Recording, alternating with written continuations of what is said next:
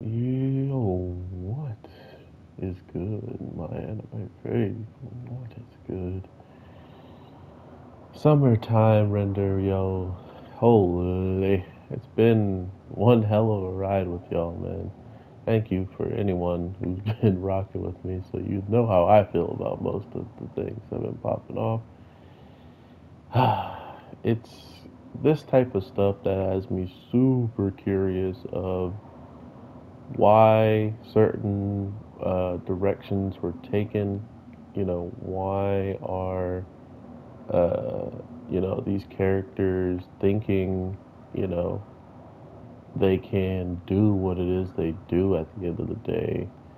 A lot of that stuff was seemingly questionable, especially after our MVP goes down, who pretty much fused and became uh, the original shadow in, in a way, so to speak, right? Like, because of all the stuff, she has uh, fully awakened towards the end, meaning uh, those eyes that she had practically were just the normal eyes she had, like, she probably chose to have, right? Like, uh, to be fair, we're going to have to see what ha- happens going forward after.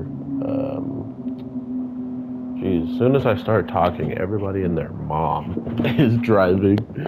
Shout out to the cameos. Shout out to the cameos.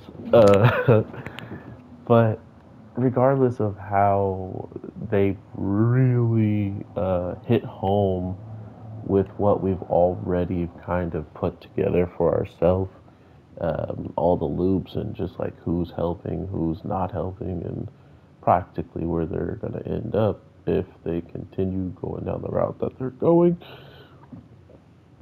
I was in the picture where I think a lot of us were that we have the main character passing on. We have him at the end of the day, more than likely, uh, disintegrating just like his teacher after having the brother push his body to such a ridiculous uh, limit.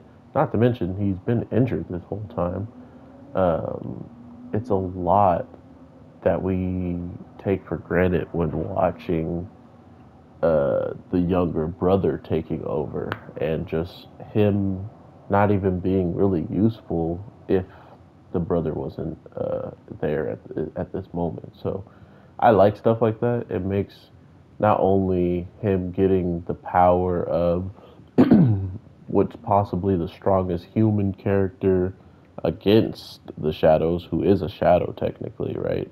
Uh, Shide confirms that by saying, you know, I've had this power for so long, and that's why I'm much better than you with it. And not only that, him remembering uh, the loops that have actually occurred made him even way more intelligent than uh, most people can even imagine.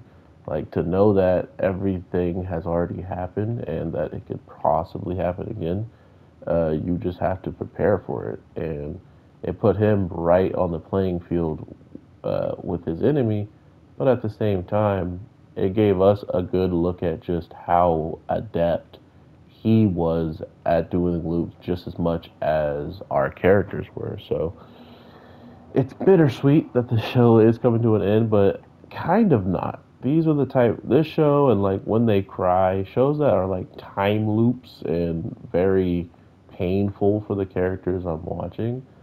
I'm pretty happy when it's over, uh, depending on how it ends, right? Like some of those shows are just their endings are jacked up, but this final episode is called um, I'm Home.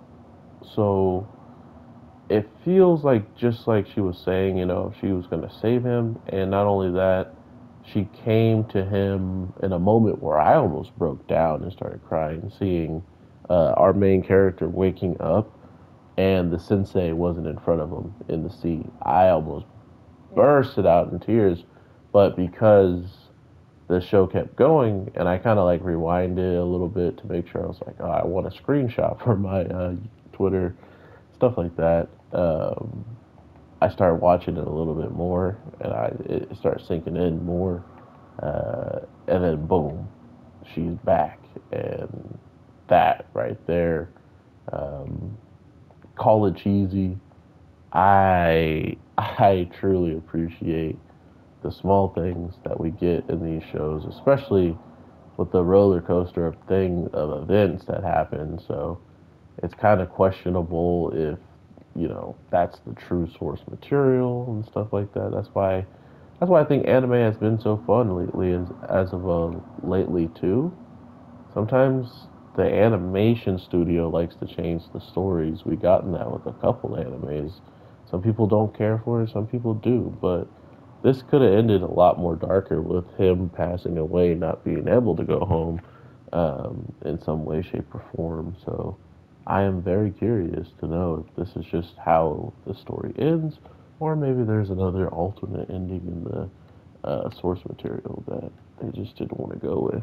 Regardless, there's still an episode left, so we got to, you know, honor that episode just like we were honoring all the fallen ones and I'll definitely talk to you in the next one. Thank you so much for the support. I am your boy, the Anime G, and I, of course, I'll be dropping more videos. And if you drop a comment, I'll be the first one to reply to you. Take care. Peace.